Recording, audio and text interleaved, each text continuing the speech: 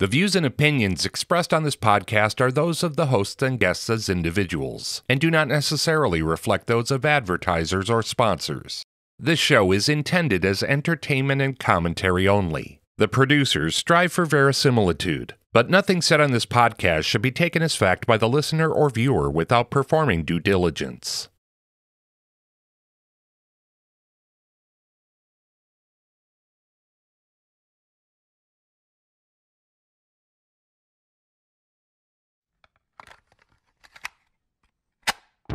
That existence, the physical universe, is basically playful. There is no necessity for it whatsoever.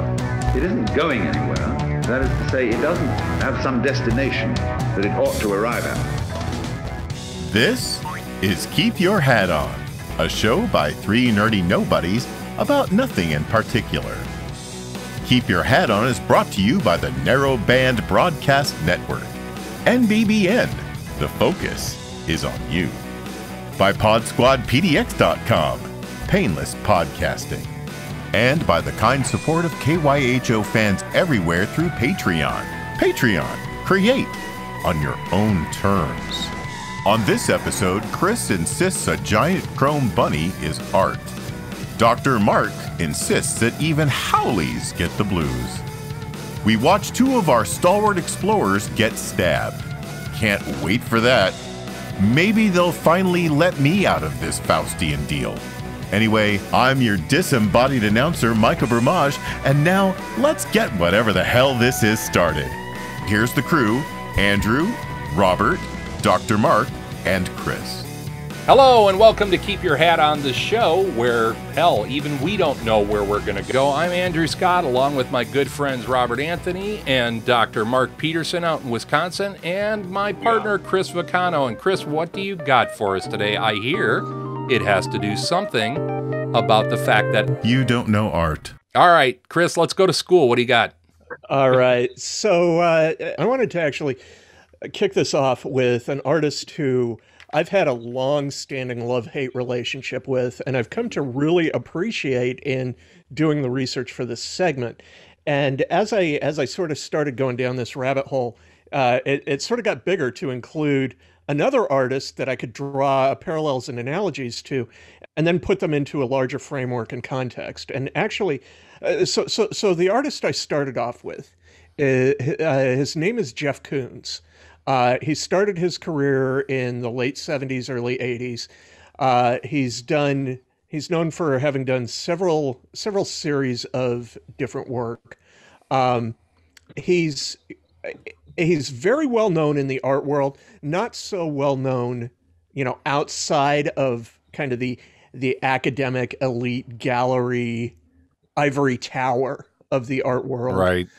Uh, but but he's he's something of a bad boy in the art world and was very much anchored in as uh, one of the one of the prime um, vanguard of the postmodernist movement in art, and so that's that's the broader context. And I think that uh, that's probably what people. Uh, your your everyday man or, or woman or, or person uh, who looks at art is probably going to know him best for. I mean, the thing that I know him for mostly is his recent piece Rabbit. Right, and I'll I'll come back around to that. Uh, that's that's kind of where I'm going to kind of circle back around towards the end.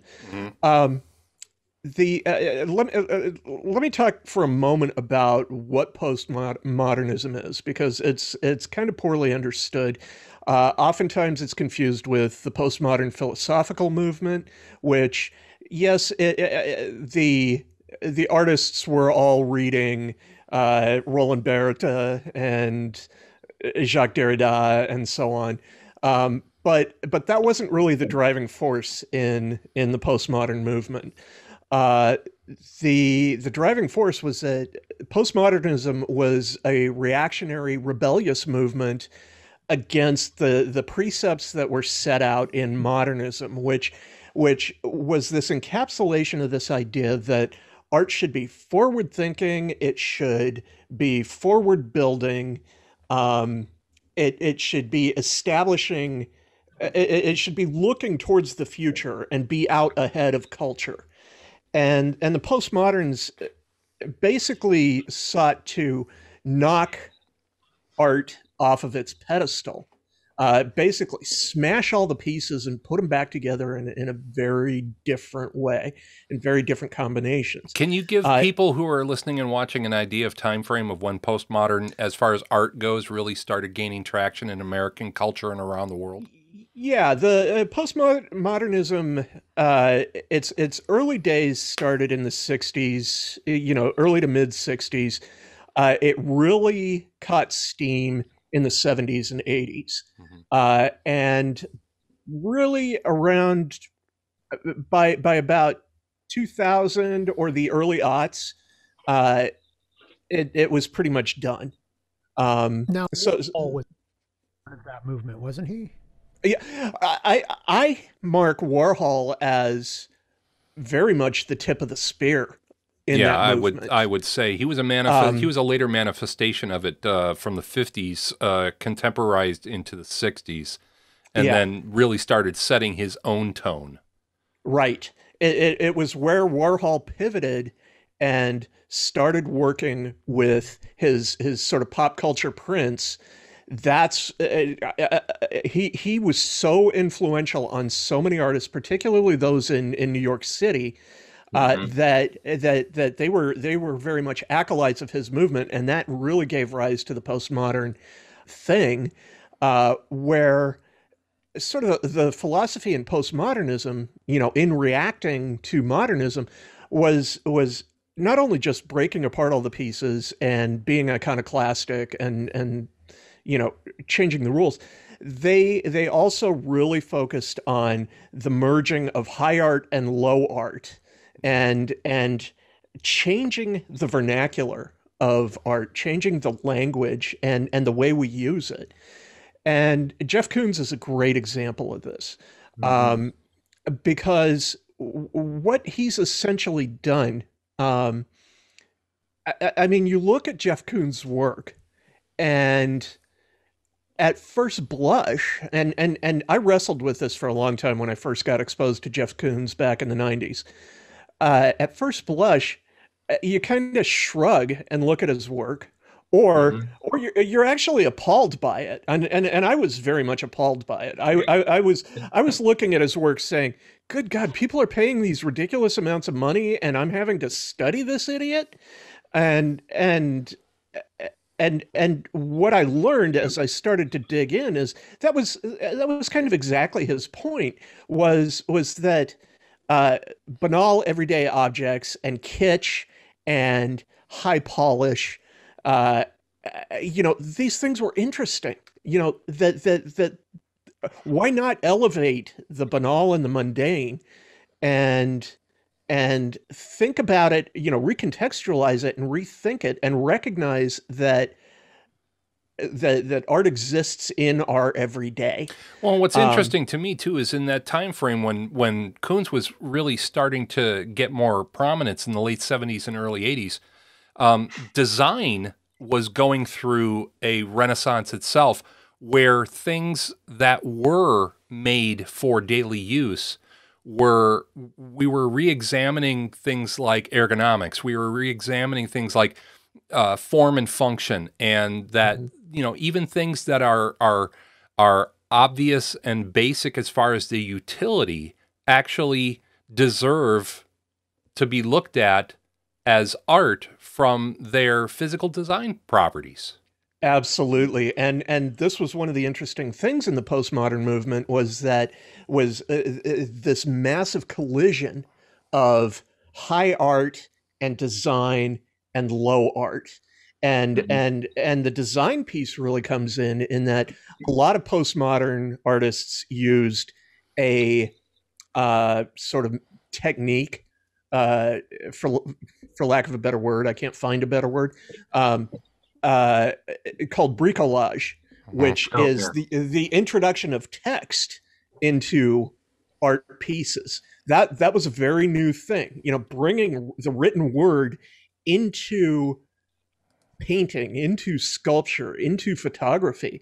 Uh, this this was a this was a new thing, and they had they they were really shattering a barrier and a boundary that had been very carefully and meticulously minded by artists leading up to that point.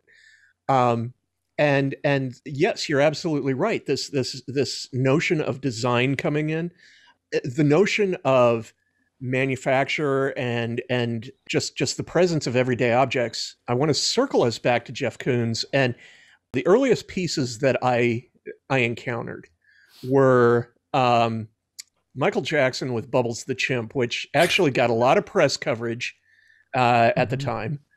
Um, and and and you look at this piece, and it, it's hideous. I mean, it is it is Horrible. kitsch. It is Yeah. appalling. I mean, it's Is that the just one that's gold? It's all done in like gold and stuff. gold and white, and Horrible.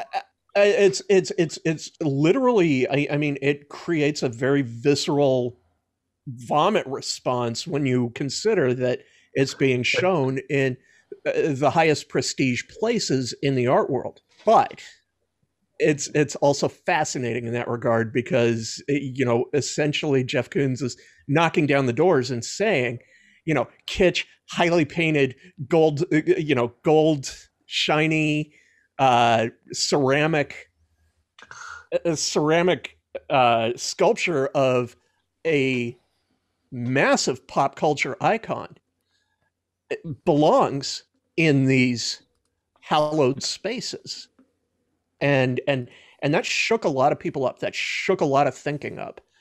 Um the other oh go ahead Oh, punk rock. He's just like punk rock of our world. absolutely you bet Quite, you bet yeah, and, quite and, so. and there's there's the analogy and and and postmodernism in general is very much punk rock in the sense of if if you take modernism as being classic rock and being very serious and very earnest and very you know devoted to a vision and a mission uh Mm. uh, you know the postmoderns came in and said hell with that i've got three chords a guitar and the truth you know? Yep. and they really sought to you know change the thinking. Um the the other the other early pieces were that that i encountered were from his made in heaven series which it takes it takes the artist into I I mean Jeff Koons took himself and his marriage to uh at the time uh well-known Italian porn actress named Cicciolina Yeah. uh That's actually married? where I first know him from was Cicciolina. no they're And, they yeah. divorced years ago Yeah, they, Oh. they yeah, but I, I remember hearing about them because as a young man, I was an aficionado of certain magazines that shall remain nameless. And of course, they were all they were all falling over themselves when Cicciolina wound up being elected to uh, to Italian Parliament. Right. Right and and and and that i i, I mean they they were doing some fascinating things in the 80s and 90s i mean they they they were sort of the embodiment of of culture really looking at itself Well, and the, the And- interesting thing to me too is now that I'm looking at it with 50 some year old eyes, I can actually see that um, Cicciolina being in Italian Parliament is in and of itself very postmodern. Deliberately. Oh yeah, Mhm. oh uh, completely. Yeah, It wasn't that was not an accident. absolutely. Um and and and so and and and this this gets into one of the other really big components of postmodernism. And and this is where i'm going to transition to this third artist creator that i mentioned. Uh, but but the postmoderns really introduced and and uh, actually i shouldn't say introduced because there were some artists who were doing this prior to the postmoderns. But they really championed. They really championed and really codified and cemented the idea of art being self-aware Mm. a- a- a- and and really examining what is art what constitutes art what uh, you know what uh, they, they they started actually making art that was intentionally art rather than art serving some other higher purpose Right. uh, and and and often commenting on art that had go- gone before uh, through the use of uh, you know recon- recontextualization, um, you know uh, So where do you see appropriation, things where- like that. where do you see Koons's influence then in today? And by the way, for those who don't know, Um, Jeff Koons is still a working artist. I believe he's 60 Oh, 66, somewhere's around there, Yep. something like that. and and Uh, he is he Yeah, he's still, a going today. he's a going concern in the art world and uh Mm-hmm. you know uh, he's primarily sculpture based i've seen some flat work of his in the past but Mm-hmm. um a- again really the the the biggest piece of Koons' art that is in the public consciousness is his uh, piece Rabbit, which I believe the rabbit. which I believe is still holds the record.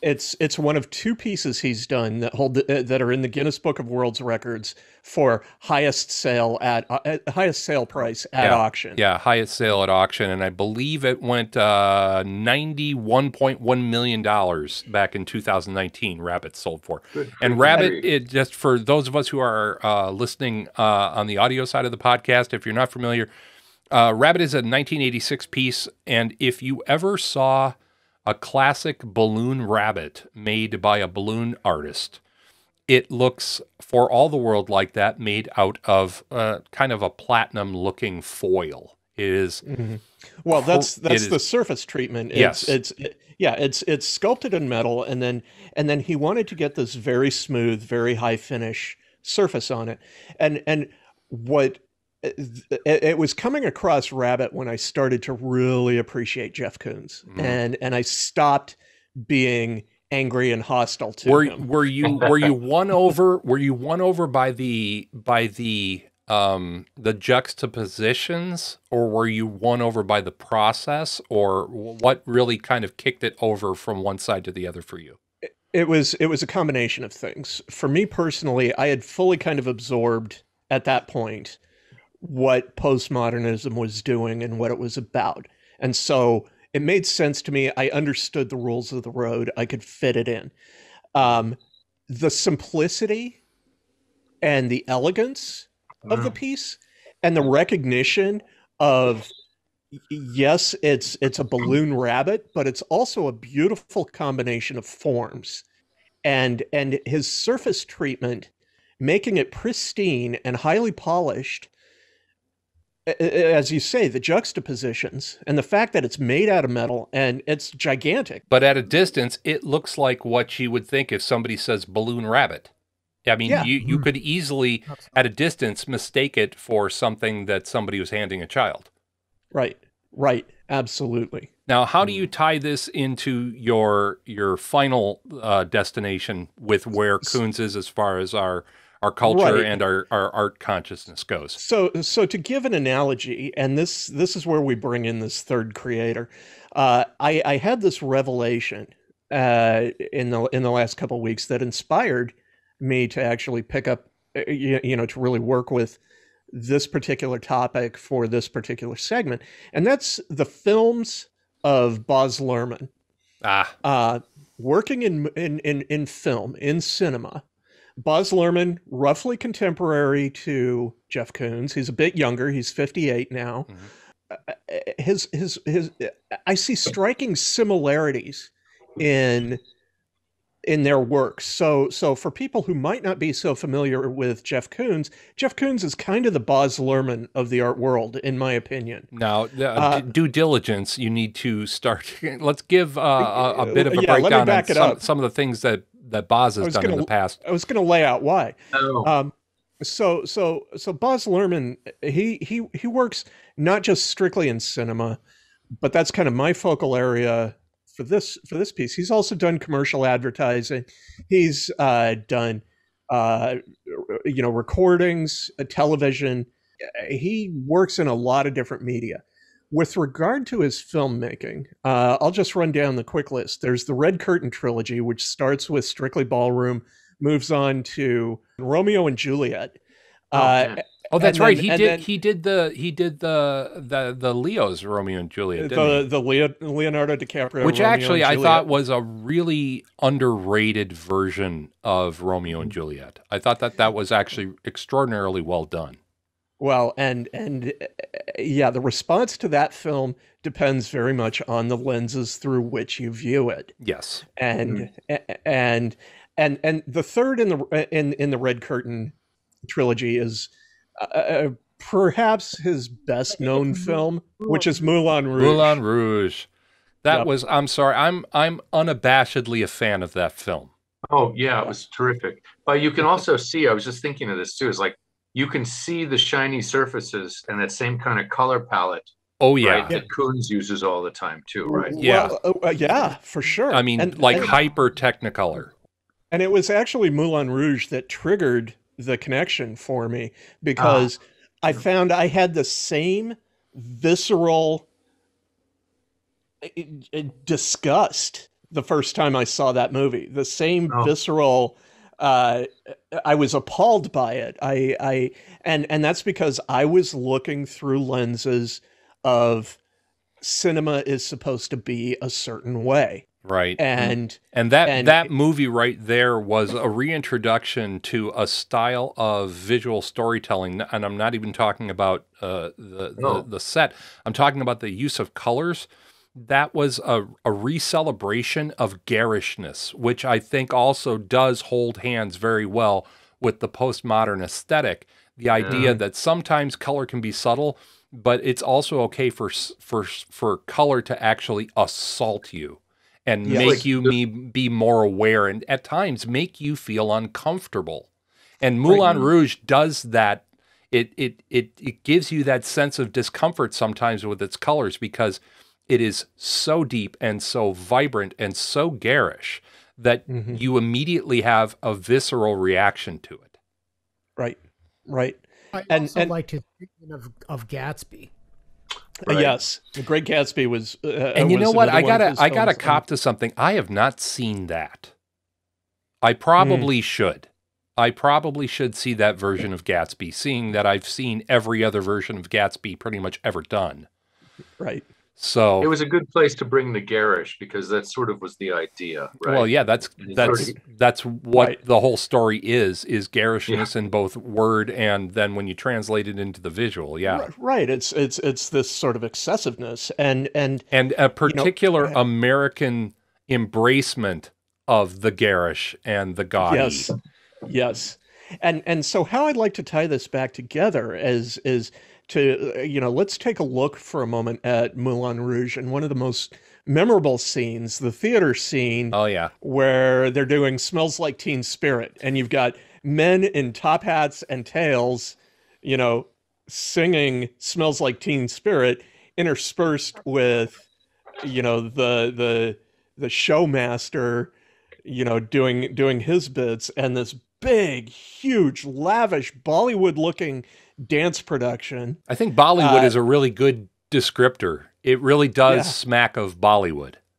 Yeah, uh, and and and and you know, I, I there's no doubt in my mind that Luhrmann was drawing that influence intentionally. Sure. Um, Yeah, you don't you sure don't do it by accident.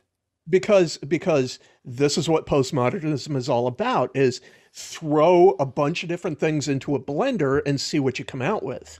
You know, the one thing I want to ask you, Chris, as we wrap this portion up, and this is something that I've I embrace postmodernism, but at the same time, there are there are times where I tread very gently, and that is, and I'll be interested to hear from Mark and Robert on this as well. postmodernism at times tends to teeter on that line of appropriation, and I was gr- I was I was glad that you Mm. brought in the Bollywood angle um, because I don't think that that was appropriation there.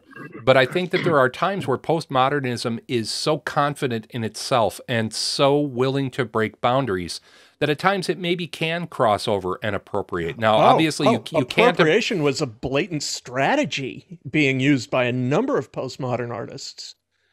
Yeah. Interesting.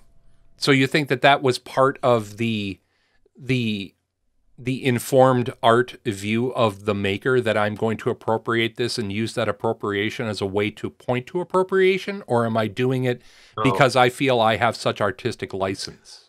Uh, it's more of the latter, and and actually the point that was informing most of these artists that they kept trying to hammer home was that everything in art that could be done has been done.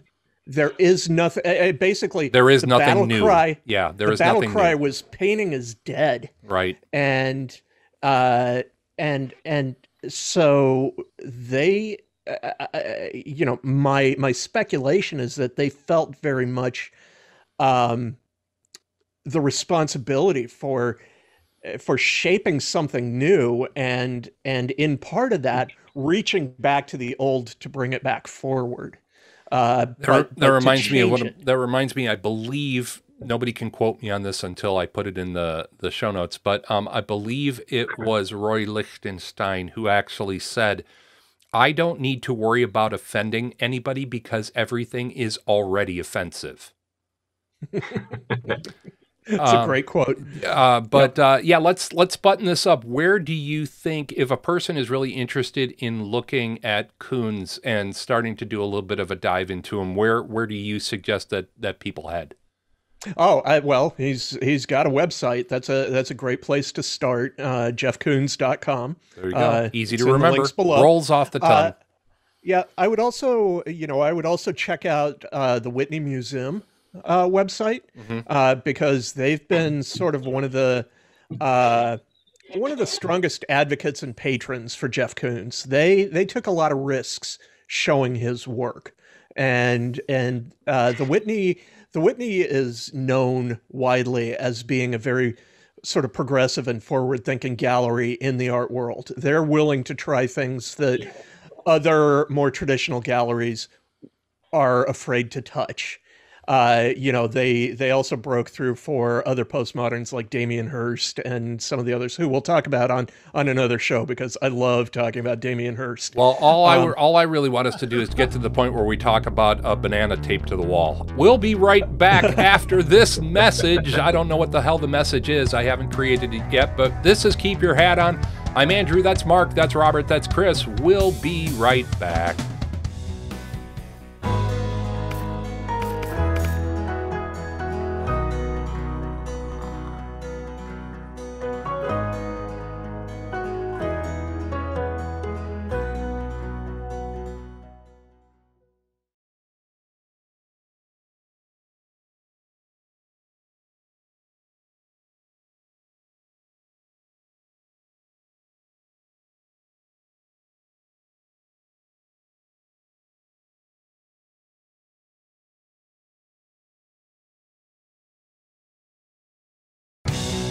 Chris and Andy do a thing.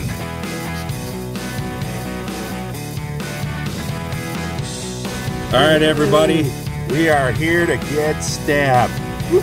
It is the day, Freedom Day. Put it in my arm. Right? Give me the juice. And we got our card, and it is a beautiful day, and everybody's waving at us because it is the day of all days. It- you know, people are giving us thumbs up. You can tell they're smiling behind their masks. I've never seen a happier bunch of workers. Yeah, I, I think it's very cool that they're being so supportive and encouraging, and and you know, and the the process here, you know, they got the process they got here is really smooth and well designed. Yeah, I, I agree entirely. And uh, yeah, just uh, for anybody who doesn't know, we are down at the Portland Airport or PDX at the Red Lot, which is the normal uh, overflow lot. And you should give a tip of the hat to OHSU. Who, They're the ones standing Oregon Health today. Science University, Yep. And- rock stars. And they're doing our they're doing our stabs. We're headed for the tent right now. So we got to shut off because we got people that we can't film, but then once we're past them, we can. So we'll be right back. And we is checked in, and they even gave us permission to film. So we are we are going live with the juice, except for not really live. We're going to be, you know, showing this to you later. Thank you. And definitely making sure to give them a nice target area right in the tree of life.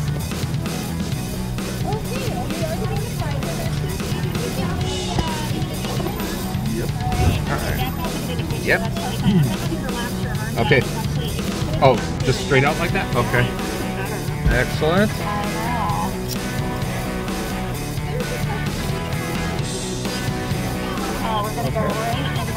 Yep. I'm trying to give you a good target.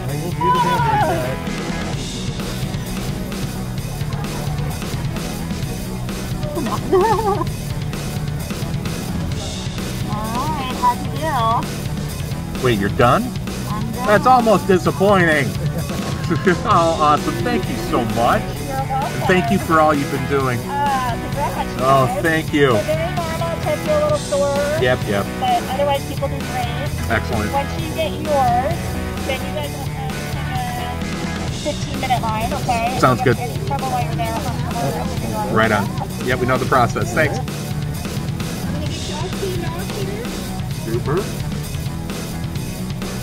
I'm Yep, and this is me getting my stab. You're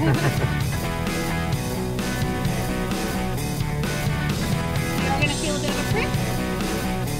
Won't even make a joke. And a cold down there. Did y'all see that? Just see how easy that was. Yeah. Awesome. You're not even bleeding, but it feels like it. Oh, you can tell we're at the airport. Okay, alright. But yeah, seriously, I've had I've had more pain from stubbing my toe. I don't know if you can make that out from over there, but past that yellow vest is Mount Hood looking out at us in all her glory. Yep, now we're now we're we just arrived at the 15 minute waiting lot. Yep. So we just sit here and chill for 15 minutes, We are and we just feel the freedom in our veins or our muscles or Yep. whatevs. yep. 15 minutes. 15 minutes to glory.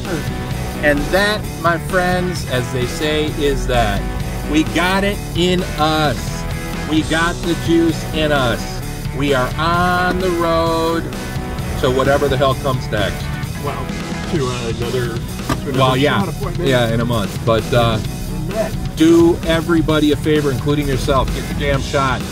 People are beeping in joy. the the people at the lot were hooting in happiness. Yep. And, and and I saw you know some of the workers were clapping for people as, Yeah. as we were leaving. Right? I mean, It's like that. That's that's what this is about. This is about everybody doing their part and helping us get back to whatever and get through to the next thing. and, So and get your shot. It's, it's not a big deal. Yep. No.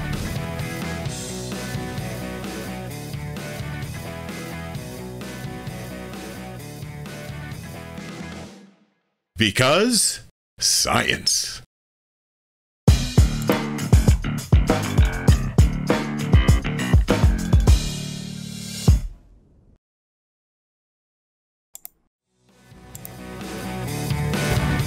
And welcome back. This is the last chapter of this episode of Keep Your Hat On. I'm Andrew Scott, along with my good friends Chris Vacano and Robert Anderson, and our special contributor, who you're probably going to be seeing here off and on, mostly on, uh, Dr. Mark Peterson, professor of philosophy in the University of Wisconsin. And uh, Mark, um, you know, you and I How were. much? ch- How many? How many? Where did you get down to, Mark?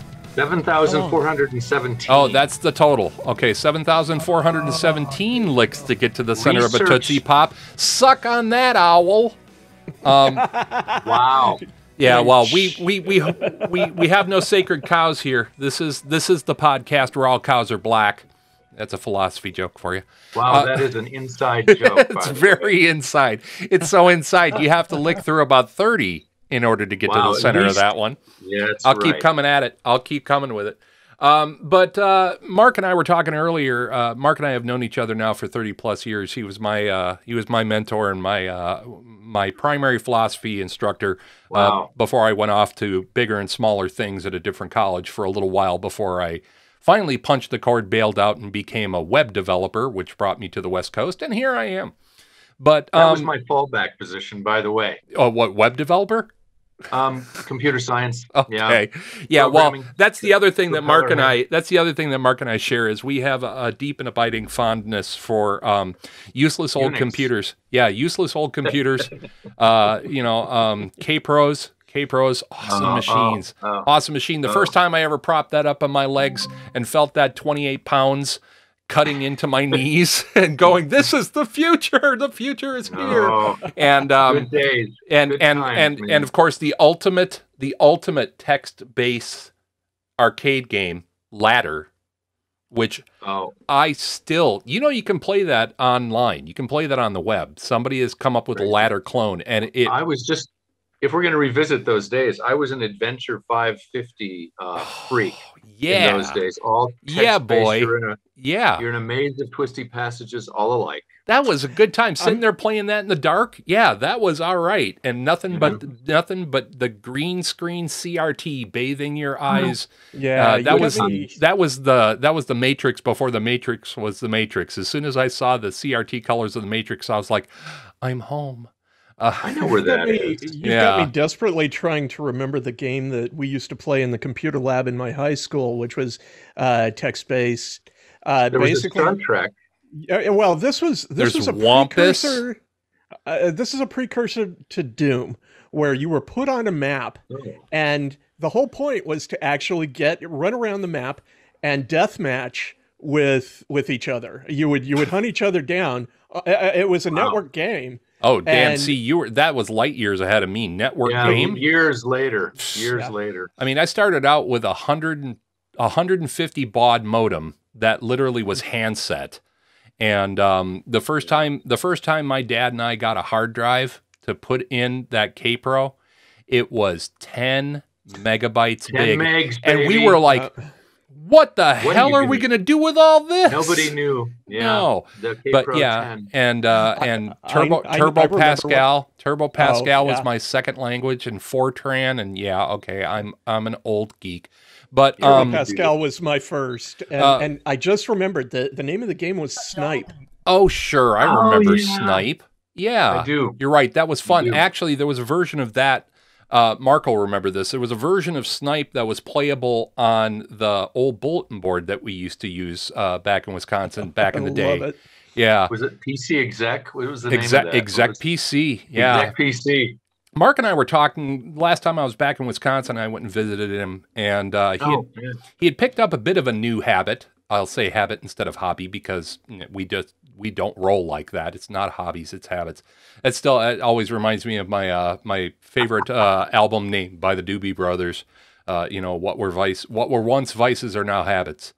Um, but uh, Mark, you're you're you've grown in your uh, appreciation and your uh, your accomplished nature as far as the ukulele goes. Now, ukulele's been a trending uh, instrument for about the past decade and some, and of course, Yeah. out here in hipster Oregon, uh, the ukulele is wildly popular. So if you need to bring the band on a road trip, we'll be able to put you in venues. I promise right, you. we'll see how it goes. I But, know some uh, of those people out there now. So Yeah, there you go. And you got a you got a bed to stay in. But uh, we've got a segment here that we call, Music you didn't know you loved. and I'll admit that my knowledge of the uke as Oh. as an instrument is kind of limited. Uh, I remember Robert and I were both really motivated uh, back when Eddie Vedder from Pearl Jam came out with his ukulele album. Back when yes, he was kind of, I don't know, Robert, would you kind of call that cutting edge for Eddie Vedder back in the day?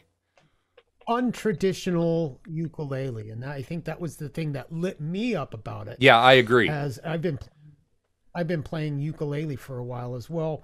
Uh, uh, probably not as long as Mark, but um, yeah, it, it was just very untraditional ukulele stylings, and I and it, it was just it lit me up.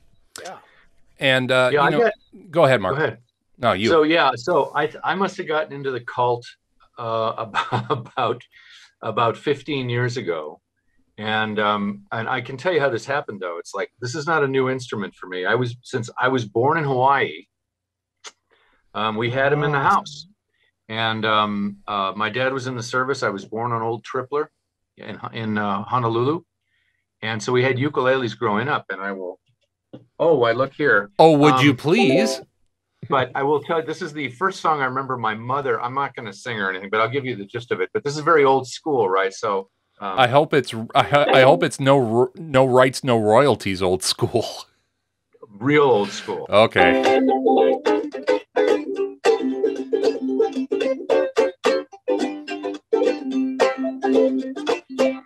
I gotta say, you stepped up you stepped it up a little bit from the last time we were together, and we were singing. cool. Yeah, we Time has were we were we were So, uh, singing uh, John Prine's "Illegal Smile" together. But I still sing nothing but John Prine. I'm, I, and, and it's go. amazing how much yeah, the other cult members in the ukulele universe are all worshippers at the altar, of course, of John Prine. Oh, St. Um, but I will tell you, it's like what happened to me was, and it's like he's wearing uh, Robert's wearing his Jake Shimabukuro uh, shirt. Is that what you said? Yeah, yeah. right on. Right on. Yeah, Okay. he, he dressed So for the here's occasion. happened about about He- 15 years ago. Um, about 15 years ago, I was making jokes in class about ukuleles because that's that's that's how I roll. If, if you're going to teach uh, 18 to 25 year olds uh, Plato and make it fun, you better bring your your A game. And or your so I ukulele. usually Bring your I usually- ukulele. yeah. yeah you want to you want to you want to roll off the edge a little bit you know what i'm saying so i was making jokes about ukuleles and Plato so i don't remember what it was and and one of my students sent me a link to the famous jake shimabukuro central park Yep. video you know the one i'm talking about Yep. uh, playing while my guitar gently weeps which like killed it well Oh, geez. Yeah, that So- was that that was us stepping out into a different world as far that as ukulele got, The one that really got me was not the one that was in Central Park, but the one where he's actually. Isn't he in a I think studio? he did another one that was. He was he was actually on. uh I think he was on a jetty or something like that in Hawaii. oh uh, yeah and he did- yeah And he Oh, right. uh, while my guitar. yeah, we'll link we'll find and link that one down below as well. yeah you can put those guys up Hell if yeah. you really wanted to see jake lose it. There- um, he did a TED Talk version uh, where he did Bohemian Rhapsody, oh yeah. Yes. and if you if you haven't seen that, it's just like killer. Well, okay, so I so I, I open this thing up and I'm thinking, oh, cute, another Hawaiian kid playing the ukulele, and then of course it's just like, holy cats! But what happened with me though was it lit up all this latent circuitry in my head from my childhood, right? From like before I- we left when I was two years old, so I have dim memories. But it hit all that those latent circuits, and it was like, uh, and um, I put it off for about a month and a half. My then fabulous wife um, said, uh, "Buy the freaking uke," so I did. and it's like that stuff. So like I just played. That's five foot two, right? Every one of those songs essentially has the same chord structure, right? yeah, boy, and Um, they they scolded us punk kids for three chords. Oh yeah, there's it's all the same chords, and it's like uh, every song runs the same. Um, Ain't misbehaving and uh, Right. Paper Moon, for instance, same chord structures, all that. Well, Yeah, has anybody seen my gal? Yeah. So this is actually fairly amusing. My uke buddies know this stuff because we all know each other now. But but um, uh, I found my way to the EasyFolk.com web uh, web page, which was like the only one around at the time that touched on this because I blew through that first set of strings in a, in about a month. and this is what happens to people who play the uke. It's like you just become completely fixated and obsessed. I, even guitar players, if you get a new guitar, it's like you know that's all you're doing for the next Yeah. month. Right. Um, Yeah. And so I put a note up. Oh, this is. I'll just introduce my my uh, my the rest of my cult members this way Oh, do. and how I got introduced to them. So I, I put a note up in Easy Folk and I said, "Hey, I need new strings for this. Uh, for the and it was a Kala brand tenor, which was a pretty good make. I still have it actually. It looks a little bit like Woody, uh, like uh, Willie Nelson's Trigger now. Oh, nice. So, but I I, was. I, I thought I thought for sure you were going to go the route of this looks like uh, this ukulele kills fascists. Which, by the way, Oh. if you don't have a uke that has that on there, you really should. the, the, there's a, I have a friend named Bob Colliday whose uke says this this instrument kills ti- tiny fascists. yeah. Uh, Bob is one of the great fixtures at the ukulele world. I had this actually. Here's the mug at the uh, at the at the ukulele world congress in uh, Needmore in Nashville, Indiana, every year in June. Nice. It's a Woodstock for ukulele players. Well, so I put this note up in Easy Folk. I said, "Where can I get new strings?" And I got this really weird uh, private message from this guy named Neil Paisley.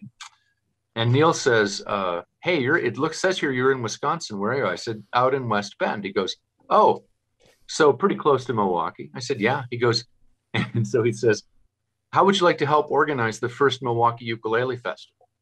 And it was like I thought, follow the yellow brick road. So Actually, So I I, re- I remember I and I inadvertently gave you a hand with that because when you were doing that was when I was oh. back in town and I remember you sending me Oh. out to the airport with flyers saying just scatter them as you go, oh, kind Oh, of like did. Rose yeah, yeah, petals. Remember. Yeah, you know, so- I gotta, I gotta interject for a second. Interesting that you would use that particular phrase, "follow the yellow brick road," given that one of the things that really brought the ukulele to the forefront Oh, in pop is, consciousness is, "Over the Rainbow." Yeah, is. Oh, yeah, is- is, is is his singing Over version of Over the Rainbow, which of course Um, we'll, we'll put a gratuitous link down there because I, anytime I get to hear it, I I just yeah, I that played at my wedding, which of course Mark was at. Mark was one of my groomsmen at my wedding. Quite a wedding that was. Yeah, it was it was good. Uh, I'm glad. We'll save that for the. We'll I- save that for the. I'll just say. I'll just say that um, the wedding is a great memory for me. Yeah, we'll save that for the after dark version of this podcast. There you go, the night flight Um, version, the night flight version. it was version one of the most Robert. interesting bachelor bachelorette parties I've ever been to. I can say that. Okay. Yeah, and Well, you know so- what? That's not even what I was remembering. That's how old I've gotten that I don't even remember the strip club section of the show. It I was just, so, and it was surreal strip club. This was not like normal. This was like surreal, uh, fun. It was. So, well, anyway, so I, I wrote back to Neil and I said, what would be involved in this? And he, and Neil wrote back and said, uh, probably Mexican food. and so I I'm thought, there. I need to know this guy better. so we went down, and I went down to the. It was at, uh, and maybe you remember Cielito Lindos, uh, Andy, down at Oh. Second and National. Hell yeah, I do. Uh, total total plug here. Best mole in Oh. Milwaukee. Oh, without question. Yeah, That that But, uh, had so- 800 different layers of flavor to it. Uh, uh, we have an awesome Hispanic community uh, here. Well, okay, so um, I go in, I walk in, and sitting at this long table is every folk stereotype in the in the book. It was like a mighty wind that just blown them all Awesome. and landed them there. And there was the uh, there was the old guy with the gray beard and wearing the two the uh, wearing the um, beret. He was there. Uh, Awesome. Stephen was there. Um, there was uh, there was the university professor guy who was there, and then finally down at the end of the table was this guy dressed up like a Yiddish Tin Pan Alley artist from the 1930s, and it, that was Lil Rev. That was Marc Revenson is his name, and we'll put up links for Rev. Hell yes, we will. Um, and Rev is a complete force of nature. He's Uh, a uh, he's to to use the parlance of the kids. He's a fucking beast. Oh I- my he- god! he when you hear that guy play. Yeah, he really is. And and what's fun about him is he started off apparently I'm told I know people who see it. He'd been a fixture around Milwaukee for years. He was a student here of a guy named Jim Liban, who was one of the great blues. Uh, Jim in harmonica the players. Liban's Blues Band. I actually, I actually, I used to know Jim. Yeah, uh, he's still around, man. He's still Oh, in wow. great shape. Awesome. Yeah. I'm glad to And he- hear that. he- hey, Jim. So Rev, I, Rev I studied did sound him. for you a couple times back in the Wow. day. So, uh, but then Rev got hooked up on this ukulele thing and just uh, took off into the ozone. So it wasn't his, his it wasn't really his about it. native instrument. He came to it uh, as a Oh, no, he secondary a- thing from a player. He was a headbanging rocker. Yeah, Totally. yeah. but uh, he, he migrated over through the blues and stuff. So, and it's funny. It's like um, he was just the guy who organized the Milwaukee Ukulele Festival, and he, he helped organize the Milwaukee Ukulele Club, which is a pretty big bunch now. But what what people don't know about Rev is how much he's helped other ukulele players who've made it now into the big time. And um, he's his generosity just goes on and on. And he lives up in Sheboygan now, so he's he's on the you know when he's not on the road, he's doing concerts online and he's raising his his uh, daughter with his his uh, new his new wife up there in Sheboygan. It's fantastic. And yeah, I was I was going to mention that one of the things that I'd noticed because I, I I'm not a, a an acolyte, a devotee, or really a follower, except for the fact that you keep on saying his name. So I did look into him in the past, and one of the things that I was really impressed with is like a, a number of of artists. Um, he really took the pandemic as a way to find new ways to connect and find new ways to keep the passion of what he does going, and not only that, but keep pushing that passion out to other people who are embracing it. And so there's Yeah. tons of stuff. Rev is a uh, is also a force of nature on YouTube.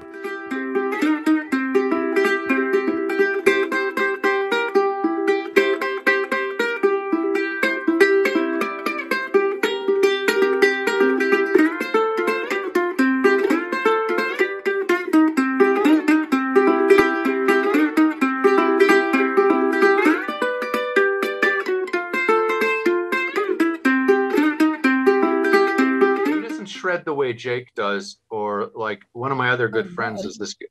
I'll tell you, I, I as I was learning ukulele, I saw uh, uh, lead, Led Kaapana.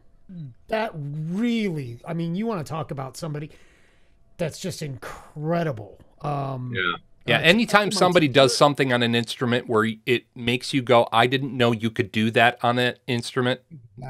Yeah. And this is this guy is one of the this guy is one of the the uh he's he's one of the the the legends. He's the guy that teaches everybody else, right?